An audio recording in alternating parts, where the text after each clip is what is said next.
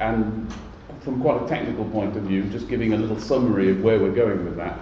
I'm going to talk about some similar things, but from a completely different angle, giving you uh, some of my thoughts on why we're doing this, and uh, hopefully uh, giving you some something to think about in terms of the whole enterprise that we have of competences and informal learning. And a lot of it will echo some of the things that Nick has been uh, talking about.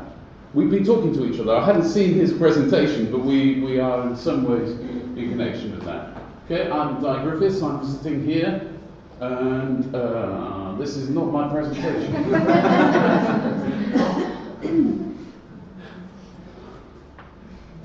but I'm in good hands. Alicia will. Well, the. Um, I don't know which. the first, by my memory, the first slide, slide says uh, that. Um, you know, the first slide talks about. Oh, there, were, there was too, too much attention going on the, the technical work.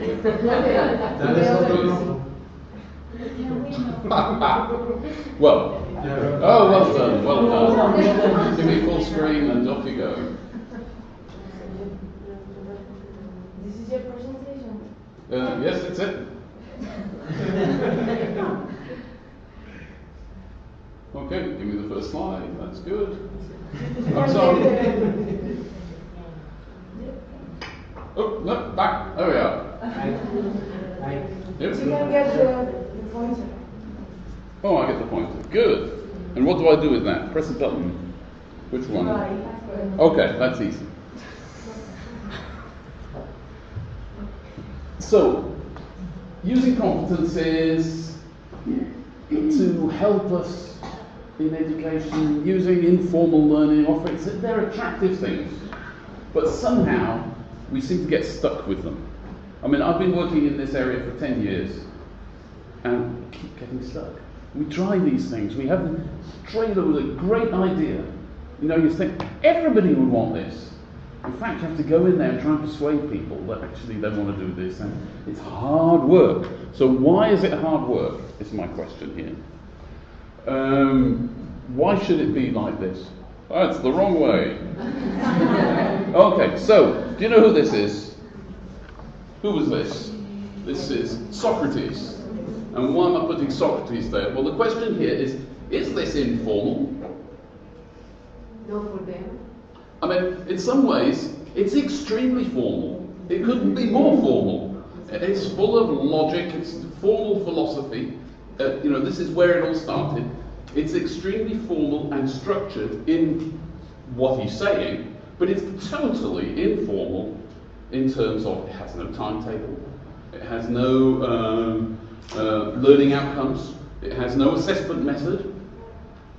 You know, it's just you turn up, you know, underneath a should be an oak grove, but it seems to be a palm grove. You turn up under the tree and you talk, but in some ways it's very formal. So, what's going on here? What, how do we describe this thing that's happening? Um, then we've got this. So, a thousand years later, we've got this conversation that's been put in a book, and ex cathedra, somebody sitting on a chair, a reader reads the book. I used to be a reader. The name survives. And they're reading a book. Now, Socrates would have said this was a bad idea because they get the words but not the wisdom. And these people are sitting here going to be really difficult to get along with because they're going to think they know it all and they don't. That was what Socrates would have said. But that's beside the point. The point here is is this formal or not? Well, is it more formal because it's in a book? No, no. Education here is getting to know the book. The learning outcomes are kind of very, not very clear. You get to know the book. You sit there and you listen and you read it. Um, but it's kind of more formal because there was there was a you know a building and an institution, so we're kind of moving towards formality. But it's not education like we know it. I would suggest to you, having given you these kind of couple of examples, that the formality is in the management. That's where the formality is. It's not in the education, it's in the management. And here's a quote from the 18th century, Justi, who was the kind of the inventor of the modern education system in some ways. To this end, all instructors must report their upcoming lectures on time. I'm sure Matthias probably can tell us about Justi, probably. Is it Matthias? Mm-hmm. Yeah, you can maybe tell me about Justi in the after, afterwards. To this end, all instructors must report their upcoming lectures on time so that one, that is the Ministry of Education or the Ministry, can judge whether there is a lack in the presentation of this or that discipline. Now, this is a first. This is where the education authorities start, or the, the government says, oh, these people are just sitting around listening to books, and we don't even know if they're turning up. And somebody's paying for that chair, and they're paying things. So what's going on here? What are we going to, how are we going to manage this? And since then, since this intervention, we've had a continuing increase in the amount of management that we have to deal with. I'm sure everybody in this room has to deal with governments, authorities, ministries, uh, timetables, curricula, lesson planning, reporting, assessment, you know, um, all these instruments. We'll deal with them. So I'm suggesting the important thing here is in, in what determines whether learning is formal is the management of it, not in the learning. And we've been distracted by the word learning in informal learning to situate the difference not in the management system but in the learner. You're saying you're learning, actually now you're learning now, it's informal. But an hour later you're learning now is formal. So the learning is in you, not in the, in the system. Well, I think this is probably mostly a mistake. You might be able to find a neurological basis which says that learning to ride the bicycle is different from learning how to do syllogisms. But understanding syllogisms, like Socrates might have been asking us to do, is the same whether you're doing it from a book, conversation in the pub, under an oak tree, as part of an exam. That's the same. Am I convincing you here? I don't know. I'm clear, I'm, I'm, making an argument, okay? Um, now, so you've got this expanding management of education. And around the 20th century, we had a modus vivendi appear. By modus vivendi, I mean people got along. They didn't agree, but they got along. So you have a well-established methods for controlling the classroom, and well established practices in the classroom, and to some extent these are independent. The curriculum is established, the reports are sent back, the assessments are sent back, the teacher gets on with the teaching in the classroom, and the Ministry of Education doesn't really know what happens in the classroom, and everybody's kind of happy. You know, the, the curriculum gets gradually evolves, and things kind of move along. And there's enough give, in, there's enough flexibility in the system to handle that. But a lot of the really critical bits of teaching are invisible to management. Does this sound familiar to you? I mean, do you, do you recognize this? That when you were in the when you were in infant school, lots of things that the teachers did were not controlled by the Ministry of Education. And in secondary school, they said, "Okay, what we do now, we'll take, we'll do this." Now, we had some good intentions so I put some smileys on to give us the good feeling for these good intentions. Because it's depressing that the regulatory framework is so different from what goes on in the classroom. We would like to make it all work better. And we would like to liberate schools from and, and universities from the constraints of the management system. So here's two very good ideas. One is let's make sure that learning is not a process that's just carried out in the classroom. Let's make sure that we can do, all learners can do something real with what they do in the classroom. And we'll describe the real things that they have to do. And we'll call them competencies. And that way, we can get away from the dry academic teaching. Good idea. And the other good idea is we can take all the learning that people do outside the classroom and give them value for that learning and record it. We have a Centre for Recording Achievement in the UK, which is a big thing, to try and record all the valuable learning which people do. Now, nobody can say that these are not two good ideas. They're very good intentions. We have an expression in, uh, in England, in English, which is that the road to hell is paved with good intentions. That's what we walk along. So, the problem is that both competencies and informal learning recognition bring things into the managed world which were before outside the managed world. So, what you're doing, in effect, is expanding the domain of managed learning into areas which before were not managed. Now, this is problematic. At the same time, technology, I'm a learning technologist, I'm responsible. Technology increases the capability of the manager to control what is happening in the classroom. Because we have learning analytics, we have automated systems for assigning this resource to that learning objective. We have management systems which allow the processing of learning by objectives and the tick boxes which say that you have done this and you have not done this and the punishment of the teachers who do not. This is not, this is not just education, this is the health service all over.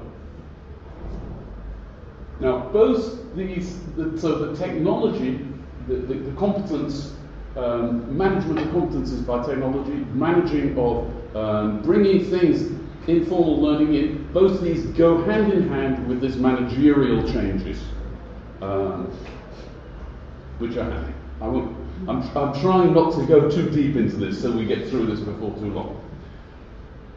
Now, I am not saying that every competence-based management uh, learning system is evil. I'm not saying this. Sometimes it is what you need. You only have to look at uh, young people learning their, uh, to play heavy metal guitar for hours on end with a machine to realize for that purpose it's what they need. And there are lots of other formal. Keep going. I'm you can sort. Oh, right.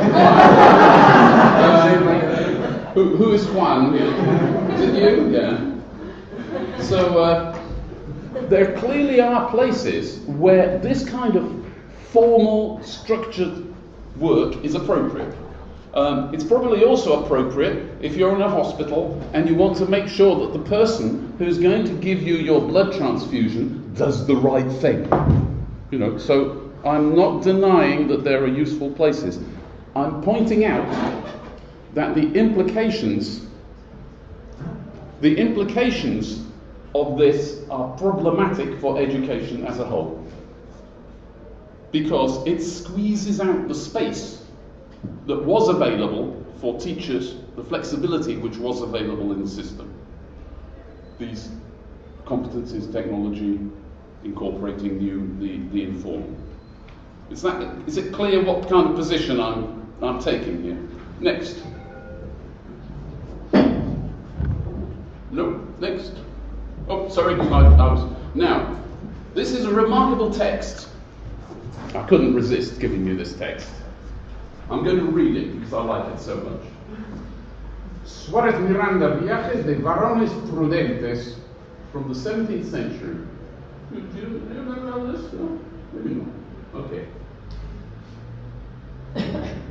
In that empire, the art of cartography gained such perfection that a map of a single province occupied the entirety of a city and the map of the empire the entirety of a province. In time, those unconscionable maps no longer satisfied, and the cartographers' guilds struck a map of the empire whose size was that of the empire, and which coincided point for point with it.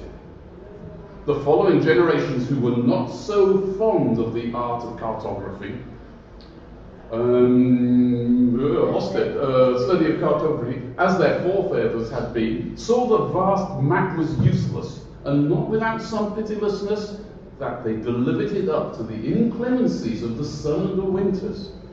In the deserts of the West today, there are still tattered ruins of that map, inhabited by animals and beggars.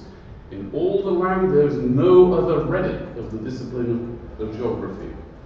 Now, but this text, from 17th century, I'm sure, comes to us amazingly through Borges, who has put it, included it in one of his books. You know Borges, I think some of you, everybody must know Borges.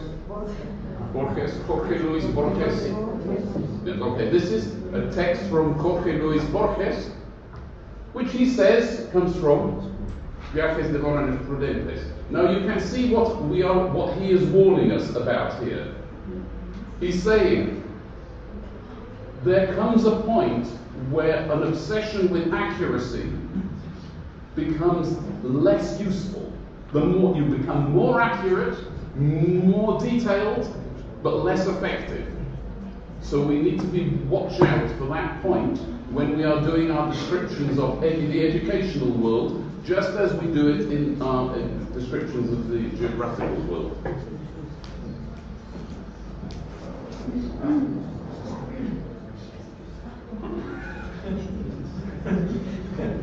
Oh, okay. So, if the road to hell is paved with good intentions, is there another route we can take? When we talk about informal learning, we identi- identify informality or formality as an aspect of learning, not as management. So when we look at informal learning activities, we try to validate, validate the informal learning that has occurred, and that's where we create our problem. Because as soon as we go into validating the informal learning, we bring it into the sphere of the formal. So what can we do? Do we just give up and say, we can't say anything about informal learning? My suggestion would be that if we want to take this somewhere, we try we forget about validating the learning. We forget about proving that somebody has learned something. We think instead about what the area of activity is that somebody's been active in there. And we focus on that.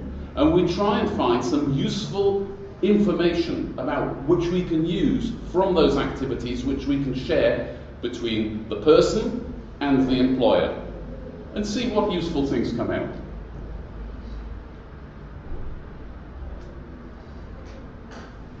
So, what kind of thing might we usefully do? Well, we look at Google, Amazon, and Wonga. Do you know Wonga? Probably not. It's worth knowing. Wonga is an evil organization in the United Kingdom. It's a very unpopular organization. They, they give payday loans. They make loans to poor people at very, very, very high rates of interest and they make a decision on whether they will give you a loan in minutes. If you go to the website and ask for a loan, within minutes they will give you a decision. So they are making their decisions on the basis of what they know about you from your interactions with the website and from the web. That's a very interesting and scary idea. Um, now, this kind of information which these companies have could be very useful to us because they know more about us than we know in some ways. So, that potentially is useful to us because it tells us what we are like. It tells you, you think you're like this, but actually, maybe you have these things that you can do which you weren't thinking about. Or you think you're good at, you know, this, but maybe, look, you know, I mean, there's lots of other related material which you don't know. Mm. Useful reflection. It tells us how other people see us as well. And for the employer, it tells them, you know, this person's really good because they did a fantastic project last year. But you know, because that project was successful and because of the activities of these people, probably you could also ask this person to do that. And if you don't know about this, you could ask this person about it because they'll probably know. Because the technology can tell you how one activity is connected to another. I'm not suggesting, remember, that the technology tells you whether I'm good or not. I'm assuming that my boss probably knows if I'm any good because they have seen me doing something.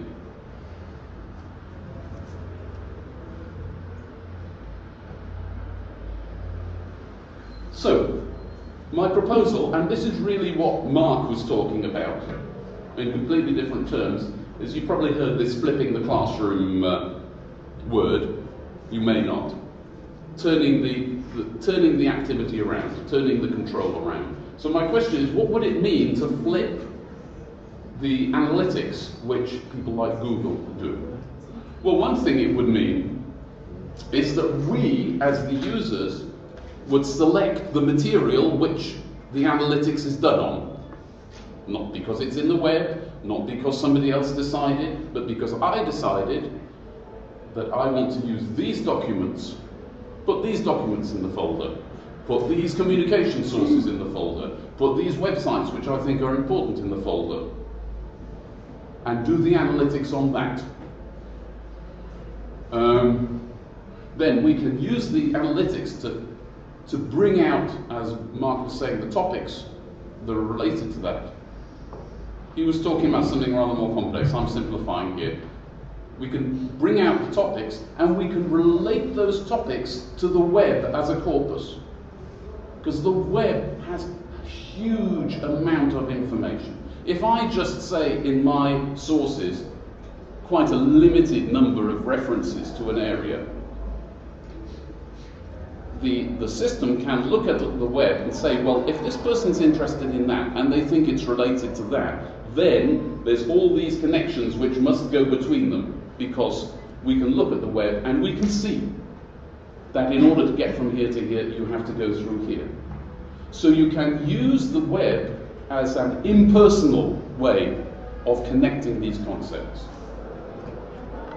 And if the, learn, if the learner or the employee doesn't like it, you change the things that you're analysing because you should be in control.